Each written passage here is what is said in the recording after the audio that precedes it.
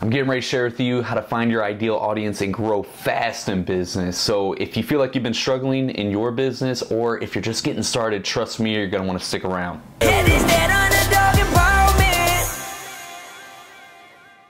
Hey, what is up? Zachary Babcock here, top 200 iTunes podcast host, underdog, prove them wrong, prodigy, and welcome back to the channel. If this is your first time here and you want the best tips on how to turbocharge your business with lead generation and customer acquisition, make sure you hit the subscribe button right now so you don't miss any of these fire videos that I put out consistently. And today we're getting ready to dive into how to how to find your ideal audience. Now, this is the foundational pillar in all of your marketing. If you do not do this, this is where most underdog entrepreneurs fail at. This is the number one problem is because they don't take the time to do their marketing homework or they don't do it right. So we're getting ready to dive right into this. Let's head to the slide deck. Alrighty, now your ideal audience is the first component of a growth engine. Now, growth engine, simply put, is how to turbocharge your lead generation and customer acquisition within your business.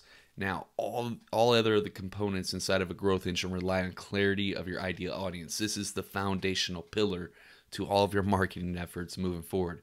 Very important not to skip. You must narrow your niche down to a group of people who want and need what you have and who will be attracted to you and your offers. And once you select and commit to solving the problems of a specific narrow audience, then you can move on to craft compelling offers that are relevant and resonant to that type of customer. Your ideal audience defines and describes the people that want and need your help and they're willing to pay for it in the process. Um, so, here are some key things you got to do. You got to identify your niche, then you got to figure out who it is that you serve. Um, what do they want, need, and are willing to pay for? And then fill out three to five ideal customer profile profiles to dial this in, which I'll leave the link uh, for you to grab these worksheets so you can make your own at the end of this video. I'll shout it out. So let's talk about identifying your niche. Okay, so your what market are you in? You know, you have the health market, the money, career, and the relationship. Like these are the three core markets. Figure out what I mean. This is this is the easy part. You know, what market do you reside in? Are you do do you do fitness personal training for people, then you'd be in the health. Uh, are you a relationship coach, or do you help people become better parents, or do you help people make money? Uh, figure out exactly what market you're in. Then we're going to figure out what niche you're in. You're going to take that a step further. As you see here, if you're in the health market, you might be, excuse me, you might be in the market for weight loss. You might be helping people lose weight, or you might just help people with nutrition or you might uh, be in the money career field and you might um, help teach leadership. You know, you got to figure out exactly what niche you're in. You got to dive deeper. Then after that, we're gonna figure out who it is do you serve. You know, so let's go back to the example. Um, your your weight loss coach. You know, in in, in the health market, um, you help uh, entrepreneurs um, single parent entrepreneurs lose weight so they can feel good and look good about themselves and crush it in their business. You see what I did there? That's more compelling to a specific type of person. You want to serve one person. The key mistake that I see so many underdog entrepreneurs make is that they feel like, well, if I narrow my niche down and only say I help a specific person, then I'm turning away business. That's bullshit. If you don't narrow down and talk to a specific person, your offers are not compelling to anyone. So you got to be really specific about who it is you help. And that doesn't mean that other people won't be attracted to you and that you have to turn away their business. You're just going to market to one specific type.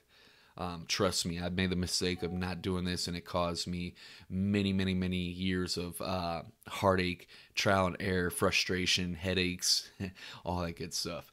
Now, who do you want your offers to appeal to? You, you also want to think about who, do you want them to appeal to? Who do you want to work with? Who is your ideal customer? And um, the type of people who you want to serve will likely find you credible, are looking for the type of help you offer, and are willing to pay for that help. Um, what do they want and need? Now, this is the key right here. What are their core problems, and what is the outcome they desire?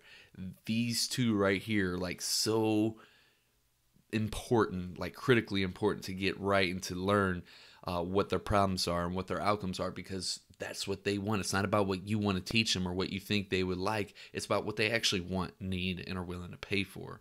So, core problems are, are of your target audience is the first foundation of your content marketing strategy, as well as the key to making your offer more compelling. Here's some brainstorming questions for core problems. What problems keep them awake at night? What are their frustrations? What are their worries and anxieties? What unmet need do they have?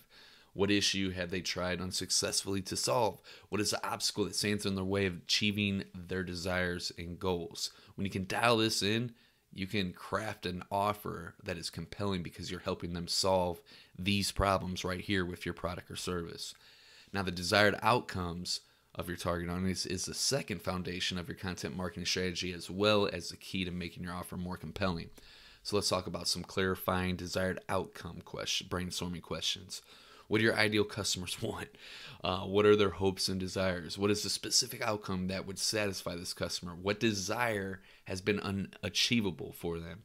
And when you figure this stuff out, when you really know your audience, what they actually really want, their goals, that's how you, you, you do you see where we're going with this? When you have this in place, it makes all your marketing that much easier. It makes your content creation that much easier because you're going to be basing it all around on helping this specific person solve their specific problems and achieve their specific goals.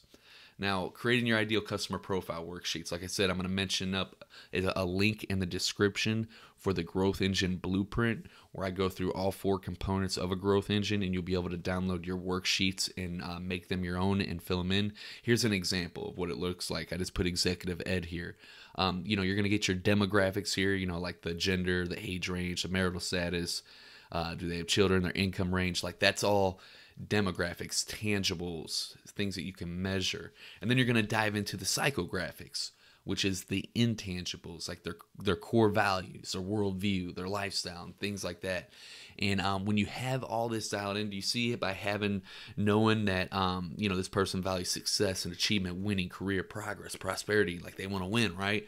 Um, now you and, and you know what their problems are you know feels performance pressure to be to successful manage direct reports.